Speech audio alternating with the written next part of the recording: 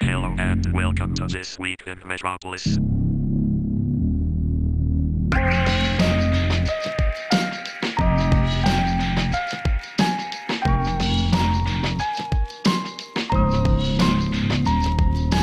Transmission will begin shortly.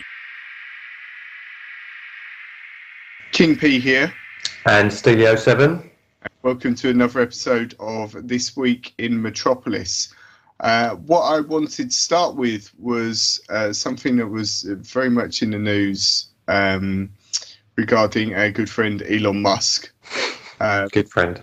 good friend. Um, he texts me all the time um, about his. It's, it's something I don't know if you remember in the Joe Rogan podcast. It's it's something he mentioned during his podcast, um, which was a business that he runs among his hundreds of other businesses that he's got um, called Neuralink. Um, and in this in the interview with Joe Rogan, he did touch upon um, the the potential of this thing, which is basically it's proper sci-fi stuff. You've got something that connects to your brain, and potentially it will allow you to connect your brain to a computer. It is the the the crazy sort of concept of it. Um, when he was talking about it on on Joe Rogan, though, it was something that you you know you just thought, well, yeah, fair enough. That that sounds great in concept, but how long until that happens? But a couple of weeks ago, he did a, a presentation regarding the actual technology, and it's something that he believes that will be um, put in place. I think it's uh, later. Is it later this year or um, early next year? Which is nuts. It's, it is mad. I mean, we spoke about this um, last week, and just the thought of it always hurts my brain. Just thinking about the idea. It, do you know what it makes me think of when, when we talked about it? Do you remember the film? Um, was it Minority Report? Mm, Tom Cruise, and I just remember that scene. I mean, they had things on their fingers, I think, so it was less doing it with mind. But it just makes me think like controlling um, computers and things like that. Like Yeah. just doing your day to day. I mean, uh, I mean, we're probably talking, you know, tens in the tens of years. You know, probably 20, 30 years, I reckon, before this is kind of like a just an everyday thing. yeah. Um, probably longer than that, to be honest. Um, who knows? But Who knows? it's it's it's mind bending just thinking that you could have something connected and you could just think about doing something and it it translate onto a computer. Well, and the, the idea is that so uh, at first that the idea is really that you if you have people that um, don't have control in their limbs, for example, that they've had an accident or you, you know they've had um, some sort of disability, that it will enable someone to remotely control a computer with their mind. And and how it works is that it's the, the the pictures that they they showed in the presentation is it's almost like an old style sort of Bluetooth headset. It just hit, sits behind your ear, um, but linked to that are very thin threads that actually connect into your brain, and they're thinner than a, a, a human hair. So they slide them into the relevant parts of your brain, um, and you can then communicate. And the, and the, the odd thing is uh, that that it links via Bluetooth to an app, so it, it, you can sort of uh, essentially, yeah, it, it, it's it, it's crazy say, saying it, but Oh. the, the the thing what what they said in the presentation is apparently, and, and there's some um, slightly grim pictures uh, again of uh, sort of a rat with a, a USB interface um, sort of in its head and, and things like that. Um, but apparently, they have had a, a, a monkey um, has been able to control a computer already um, with its brain. Um, so it's it, it's working to a certain degree, but they, they've not experimented with a with a human subject, and I think that's the next thing to do. Um, but na understandably, they need the the uh, approval uh, of as such to do it. But I think it, you know, I guess if someone's in a situation where they don't have use in their limbs, and it's it, this could be a um, a lot, or, or I guess they can't communicate. Uh, uh, this is a real game changing thing because they would literally be able to to talk. Mm. Um, and and the, the the the crazy thing is, I think one of the I don't know the exact quote, but I think um, in he stated in his presentation that in theory, in the future, if let's say you or I, you and I had that technology fitted, because of the nature of how it connects to your brain, we'd be able to communicate telepathically. So it, it's, it's madness. yeah, I mean, I mean, credit to. Um, I mean, it's obviously not just Elon Musk, but he, from from our discussions and well, just generally what he posts on Twitter and things like that. Yeah. Like the guy's a genius. Like some of the ideas, it's it's not just because when you think about some of the ideas that he has, they're crazy. Yeah. But the the mad thing is, is that a lot of them, he seems to have an idea of how we can make it a reality. yeah, And this sort of stuff, don't get me wrong, is not something too far fetched. I think it's it's um, something that you can imagine is possible, but how you go about making it happen. I mean, like Yeah. you know, he's he's not like a um, a scientist who, who surely knows about where to connect microscopic threads to certain parts of the brain and Yeah. things like that. You know, there's people behind the scenes that are doing all that Yeah. stuff. And I think I've not watched the presentation yet, um, but the, in the presentation he does have um, neurosurgeons and people like that, that that are sort of working in the business. I think Mhm. he looks at it from a from an engineering perspective, but they have got people that are, are experts Mm. in, in the field. The the thing f- which I think makes it even more sci-fi is do you remember in Agents of Shield when uh, Agent Coulson um, is in Tahiti Mm. and he's got that robot sort of fixing him, and, Mm. you, and you got all these these little fingers sort of like And uh, he keeps having like flashbacks, doesn't he? I think. yeah, that's it. And he remembers it. it it's sort of um, fixing his brain uh, as such. To fit the threads, they've got a robot, which again in the picture looks exactly like the one from Agents of Shield. They're just uh, edited to the video. Yeah, Elon was watching that. Thought, oh yeah, that's how we'll do it. Uh, and yeah, it, it's it. But I'm guessing it's because of the, uh, you know, how sensitive it is to do it. They, they've yeah, they, they've got this robot thing that plugs it in. I, I guess the other thing with this is if he can do all the the groundwork and get them initial kind of designs and ideas out there, there's nothing stopping like Microsoft or some big tech firm, you know, computer firm to go, we'll we'll buy this off of you. Yeah, You know what I mean? You, you provide us with that, or or even go right. What are they doing? Let's do our own version of it. yeah, And So you know, as long as it's the sort of thing that takes off, which just thinking about it, you know, I don't know how that you'd go about, it, but think where this could lead to. Like we, we're talking about just general like um, using a computer to you know thinking about typing a document or something like that or sending an email. Think of what this could lead to, like gaming and things like that. Like you could end up years down, like you know, I'm talking 50 years. We could be playing computer consoles with all this sort of stuff going on. yeah. And, you know, almost be watching Call of Duty while playing it, using our mind, like look left, you know. But you haven't even got to say it. Do you know what I mean? It's just like you're there. I mean, it. we've got the VR stuff going on, which is incredible. But this is this is, I think, another level to that. Yeah. Well, he, he he said that he wants it to get to the point where it's no different from having sort of laser eye surgery, for example. You know, they, they get it to that point where it's that easy to do, Mm. um, and eliminating the need for anaesthetic. You know, they, they would be able to do it in a way where you you just go in the shop and get it done in your lunch break and it's fitted.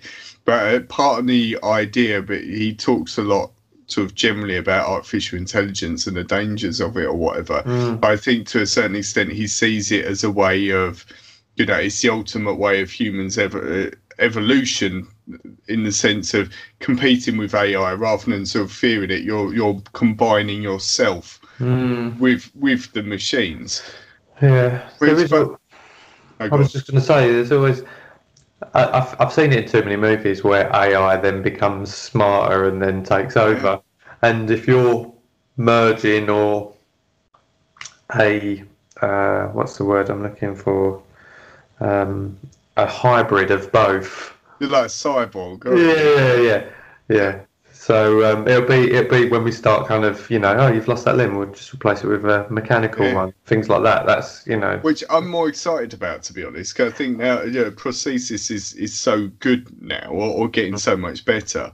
I think we probably will get to a point where losing a limb probably isn't a, you know, a, as big a deal as. as you- Terminator level. Yeah, exactly. You, Yeah. you can do anything with it. You can do things better with it, and that, that's that's just like in that. Um, do you remember the trailer for Cyberpunk? Was it Cyberpunk 2077 or whatever it's called, the new game? Mm. where someone's sitting there and they're, they're sort of, oh yeah I can fix that for you or I can you can Mm. make your eyes better and so on Yeah.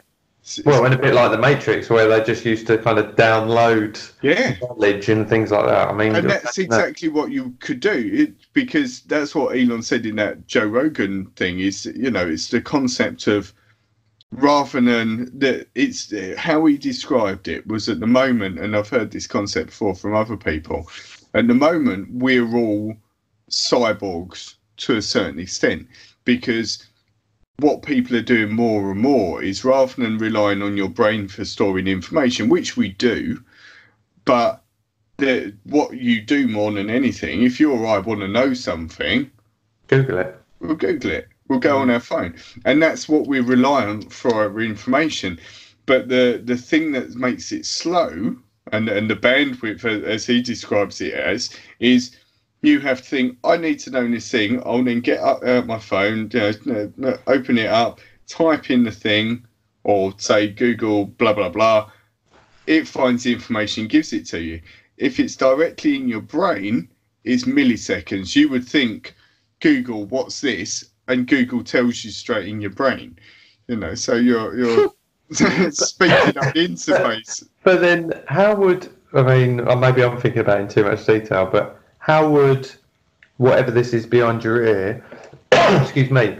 Um, how would you be connected to the internet? Is this going to have like 4G, 5G built Yeah, into it and things like that? I mean, I think so if I've got to buy a contract with data, Well, that's the, the weird thing is that at the moment it's connected to an app. I think so. Yeah. You've, your your Bluetooth sort of uh, connected to to an app on your phone. So that's the extent it is. But I guess yeah, why couldn't you? You could then just be Mm. wirelessly linked to something. I think I think what I really want with all this is for Elon Musk to be the first person to Yeah. uh, try it because because um, he's you know he's um, uh, he's very good with all these ideas, but actually putting it into place and and Yeah. actually experimenting. Don't get me wrong, like.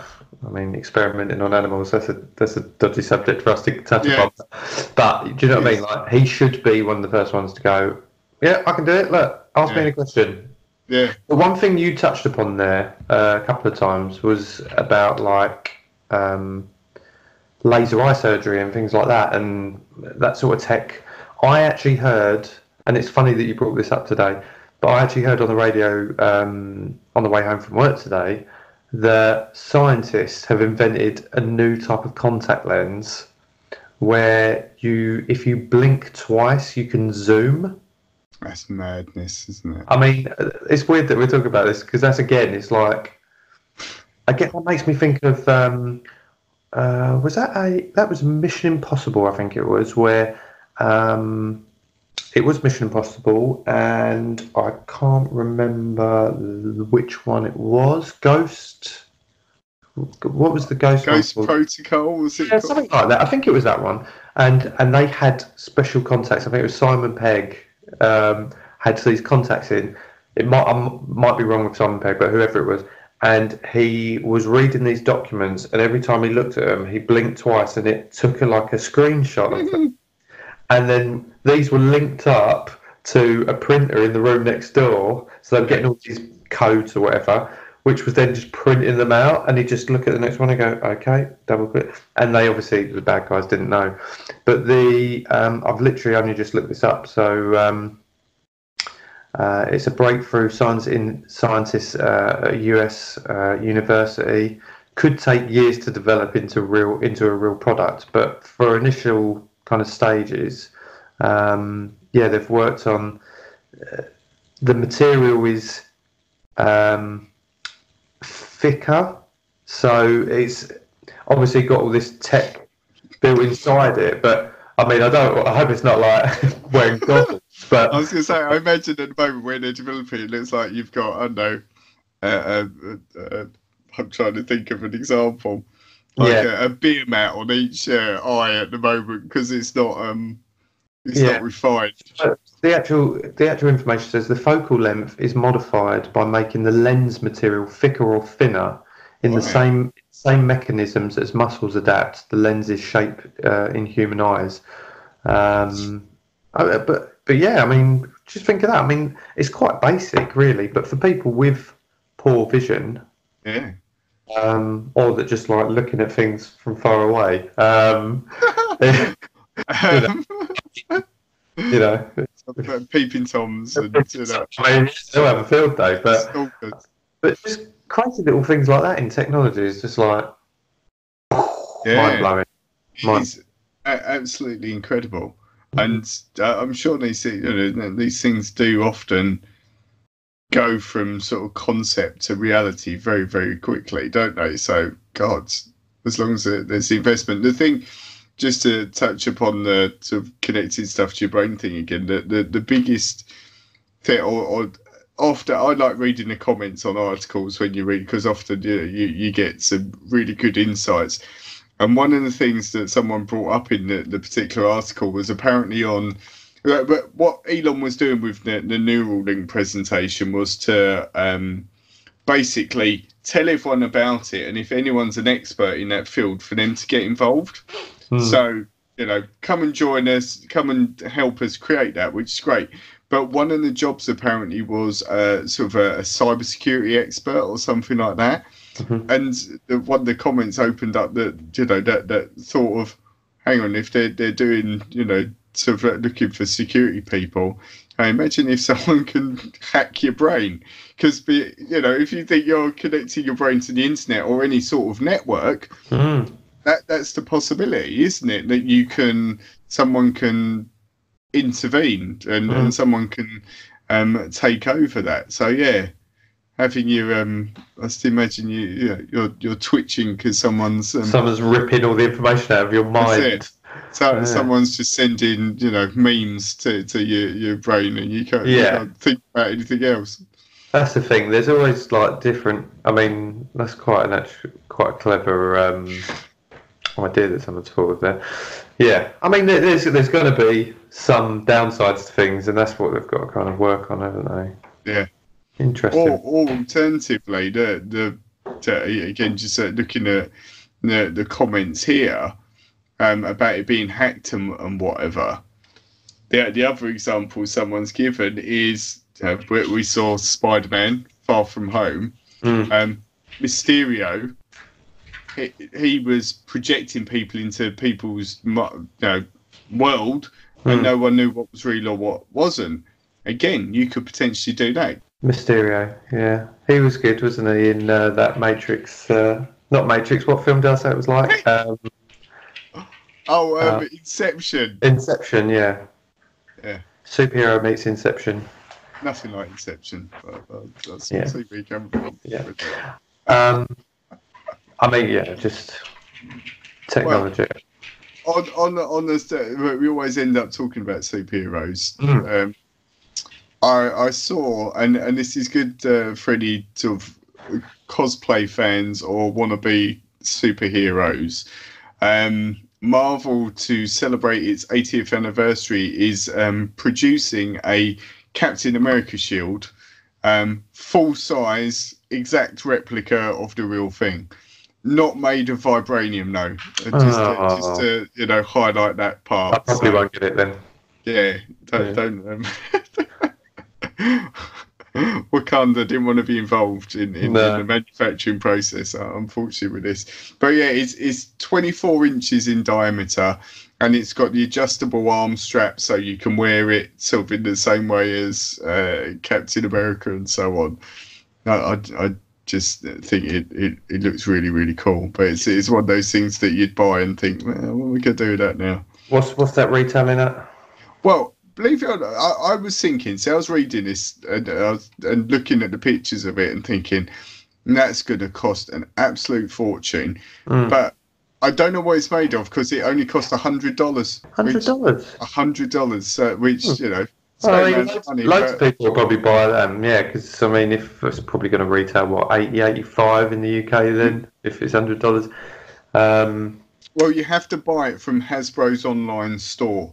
uh, which is when I remember years ago Hasbro did. Um, do you remember the um, hoverboards from Back to the Future? yeah, yeah. I think it was around the sort of anniversary. Must have been around the anniversary of Back to the Future, and you could buy a replica of that and that. So they, they do some quite cool movie-related things on there. But a hundred US dollars, I'm sure that probably means it's made out of plastic, doesn't it, or something like Mm. that. But um, I think the paint finish makes it look really realistic.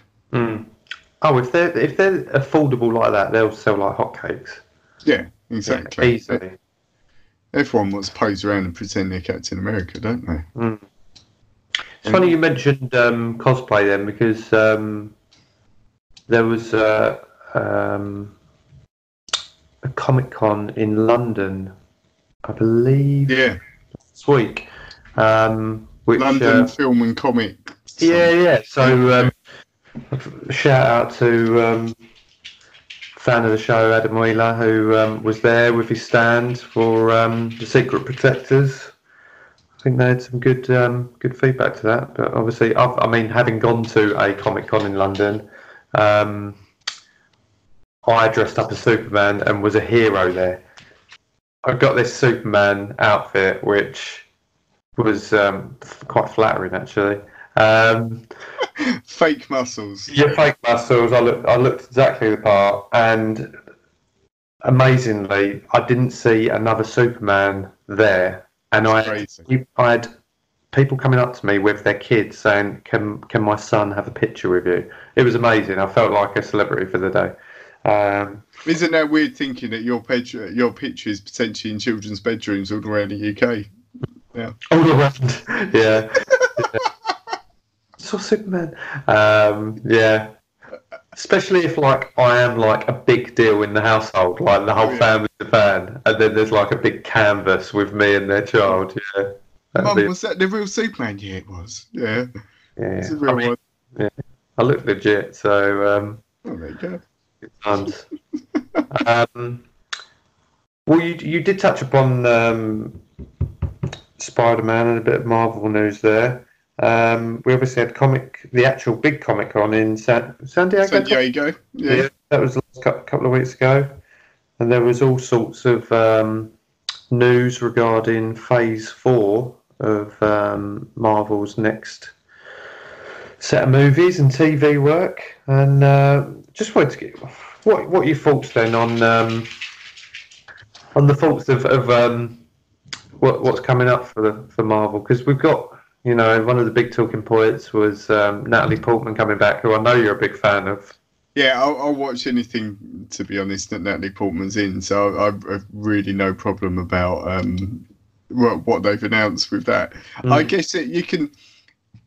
I don't. With the Phase Four, I think it's. Uh, I've got sort of mixed emotions with it.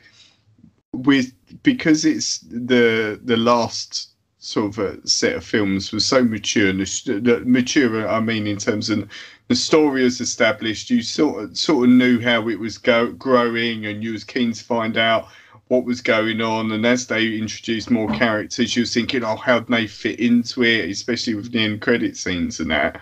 Mm. Um, in a way, for me, it's part exciting because you've got all of this new stuff coming out, and it's not necessarily. I'm sure it will incorporate into what we've seen already, but hopefully it will then set up new stories. Mm. Um, but also there, there are ones which I don't know. We, we, spoke about, I think that, you know, WandaVision, for example, it's How not really one that I'm particularly excited about. So Mm. it's it's not one. I I don't know whether that will just fall into you know one of the many many Marvel film uh, Marvel TV shows that we've had, or whether it will be anything more significant. But like we said, how does Vision fit, fit into it? Yeah, well, I had that conversation today actually with one of one of my mates, um, and he was explaining to me that in the comics she can, maybe I've got this wrong again, but she can So, create her own. She can create her own realities, alternative Oh. realities. So, so maybe that's how he can be in it. Maybe I don't. So, so the takeaway is she's insane, and imagining he's still alive Yeah. for a whole TV series. Yeah, maybe. um, but yeah, there, there are question marks. I mean, the, the the thing with Thor that we were talking about with Natalie Portman being the female Thor, Yeah, um, uh, Mark, who I spoke to, he he raised a good point in the fact that I think some people are probably not too happy because it feels like the whole female superhero thing Yeah. is kind of being a bit forced, but sure. this is actually something that happens in the comics, and we've read about it on, Yeah. on certain sites. And and it is something they're following. They haven't just gone. I know what we could do. We can make her the female Thor. Yeah. So so that's a positive. Um, interesting. I was just going to say, re- related to that though, again, the the again the way sort of I, I see it a little bit. I think it'd be different if, I mean, she was in the first and the second one in in sort of a, a fairly prominent role, wouldn't she? Correct me if I'm wrong. But then the other ones, she had a much smaller part. She well, she wasn't in the third one. No. But this but this is again what what I was told today. She actually didn't want to be in it anymore after the second one. She'd had enough of it. Mm. And which is interesting because if she'd had enough of it, and now they're saying, "What if we offered you the role Yeah. of female Thor?" And then she's like, "Sign me up." or, so- she said, "How much?" And Yeah, I told yeah, her, yeah. "Yeah, I'll do that." Yeah, But but what I was going to say is, i if they led up to the fact that you know she, she was a strong character in it, but they led up to the fact where you know she's with Thor and she she's you know becoming more of a warrior, and then that's then a natural extension to the next film. We think, oh right, she's now reached that end goal of of doing it, whereas. She disappears without a trace, and then all of a sudden, oh yeah, she's got a hammer as well. It, Yeah. It's I, uh, t- to be honest, I can't even remember how they signed off with her. I feel like maybe was she left on Asgard? Uh, Because she got ill, didn't she? And then they sort of repaired her. Was that the Yeah, second the yeah. I, can't remember. But they mentioned her. well, she was. There was obviously the clip of her, wasn't there? In um, yeah, because she didn't um, Rocket have to in, get something out of her, which was injected into her. yes, One one of one of the stones or whatever. maybe. Yeah. I don't know.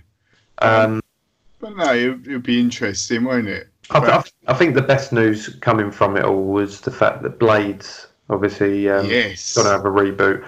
The only question marks over it are the um, the ratings for it because obviously the one that we would have grown up with with Wesley Snipes that was an 18 I believe Mm, um, and um, this one Disney uh, is probably going to be a 12 I'd say PG.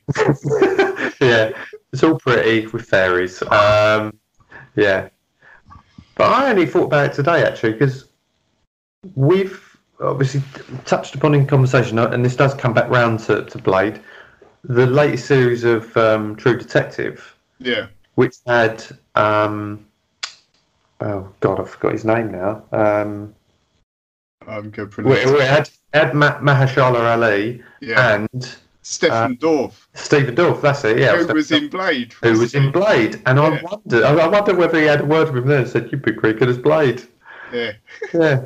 So, um, yeah.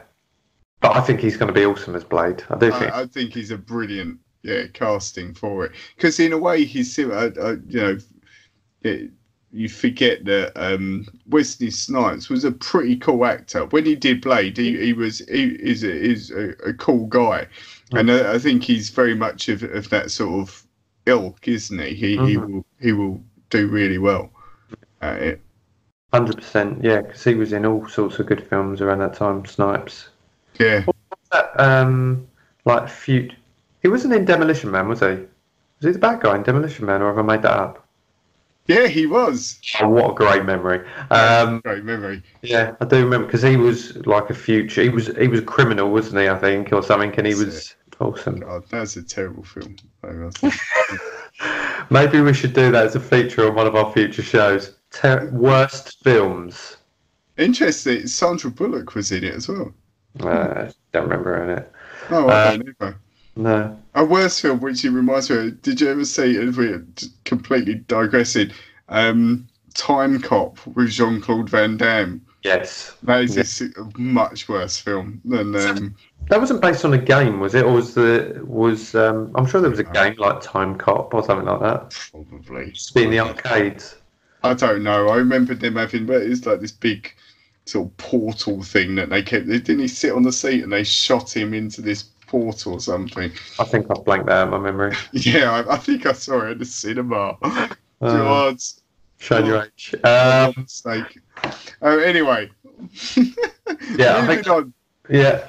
So that in terms of uh, hopefully slightly better quality movies than um, Time Cop, the if you remember many many years ago, I can't remember when he actually did. Thirteen years ago, apparently, um, Morgan Spurlock did Supersize Me, where Hmm. he was um, spending. I can't remember how long he did it for. Was it a month? He, he ate McDonald's for every meal. Thirty days or something like that. Yeah, Yeah, and, and sort of uh, monitored the effects it had on his his body and so on.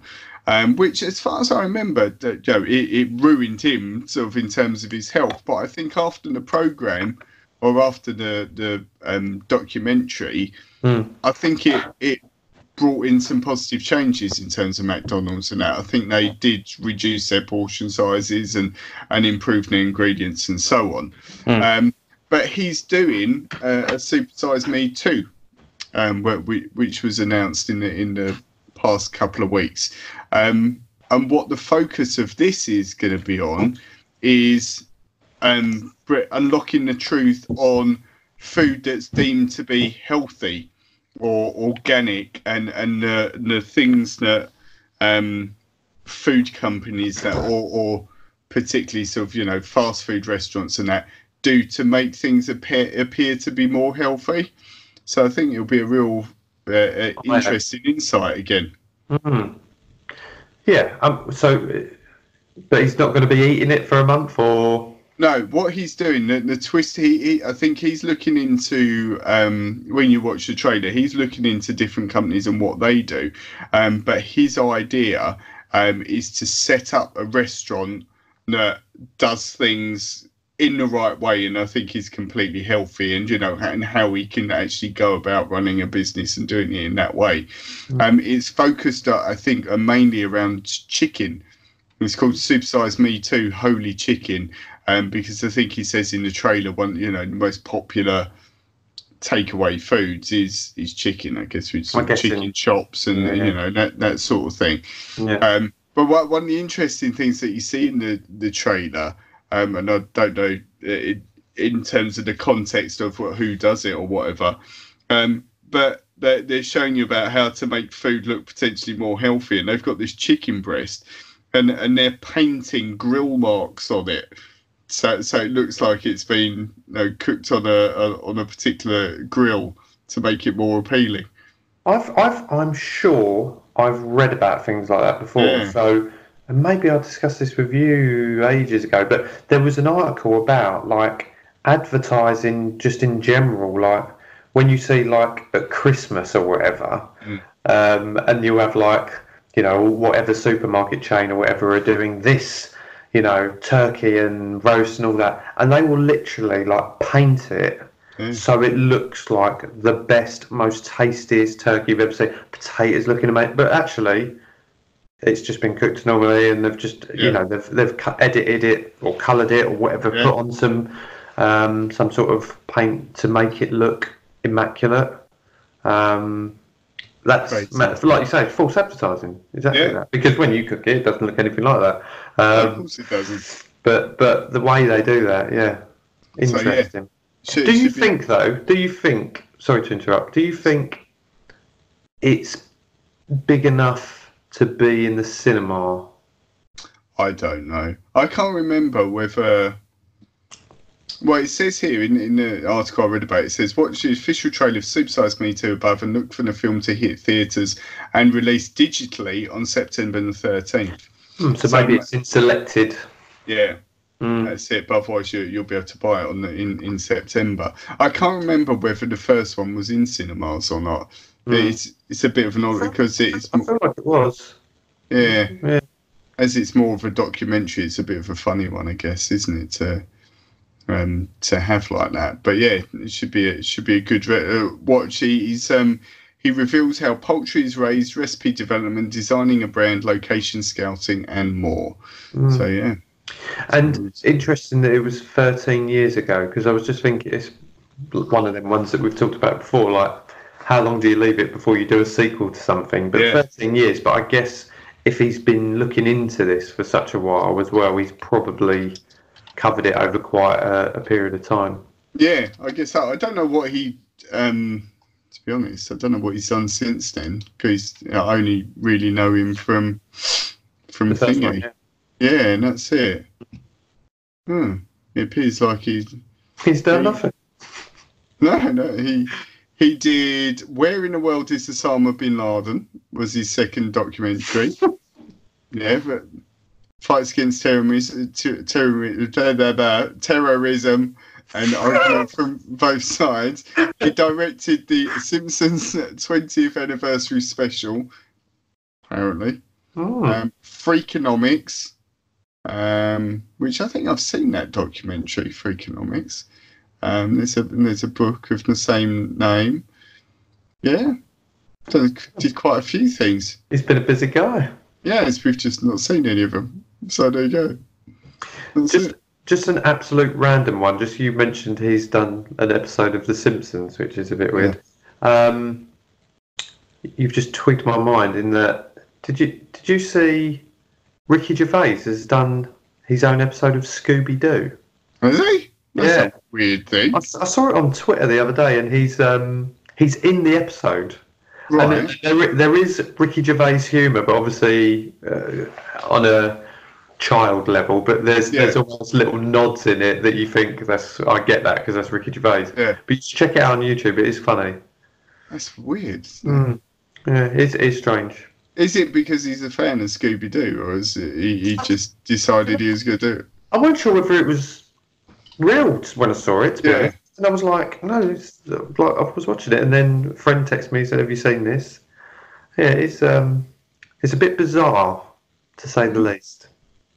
Okay, well, um, I think that is everything for this week. Um, are we, are we, we're saying this is the, the last episode of this series, Matt, aren't we? Of this series, I think, because uh, we've done 10 episodes now, and uh, we could to try and do it as a se- series each time. What what um, difference next series will be, I don't know. Maybe we'll do it all in uh, the form of song. Or in a different language? On the do, we'll, we'll learn Mandarin um, before the season two. Yeah. Um, so if um, you want to follow us, find us on uh, social media. We are on Instagram and on Twitter, and you can find us on the podcast. You can find us on Spotify, on Anchor, on Apple Podcasts, on Google Podcasts, and many other platforms. Um, so um, yeah, enjoy, and uh, we will speak to you again soon. Goodbye.